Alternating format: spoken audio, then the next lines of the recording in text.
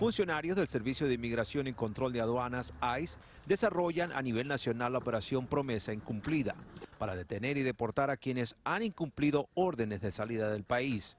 Para conocer qué impacto viven familias que han enfrentado esas acciones oficiales en el pasado, hablamos vía telefónica con la esposa de un inmigrante deportado en Texas y también con un inmigrante de Nuevo México que superó la posibilidad de ser deportado. Los dos pidieron mantenerse en el anonimato. Falta él, ¿verdad? Porque como quiera, al hombre le pagan mejor en su trabajo que, a uno de mujer. Y como yo ahorita pues ya tengo, tengo desde julio que, que no estoy trabajando. Tengo nomás una hija nacida aquí. Ajá. Y fue lo que hizo el abogado. Y este apeló eso desde que estaba yo adentro. El director interino de ICE, Tony Pham, anunció hoy desde McAllen, Texas, que la operación se inició el 2 de noviembre y ya se han detenido 154 personas, de las cuales un 86% tienen condenas o cargos penales pendientes.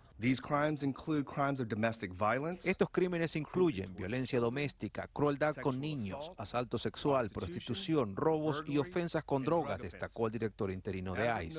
Abogados expertos en leyes migratorias dicen que las opciones legales para combatir una orden de salida voluntaria son bastante limitadas. Normalmente es justificación médica porque la persona que está siendo deportada o algún familiar que sea residente o ciudadano que depende del cuidado de esta persona necesita algún tipo de cuidado médico y se tiene que dar una fecha definida. El recurso se conoce en inglés como state removal o parar deportación. El inmigrante debe presentarlo durante los primeros 30 días tras recibir una orden de salida.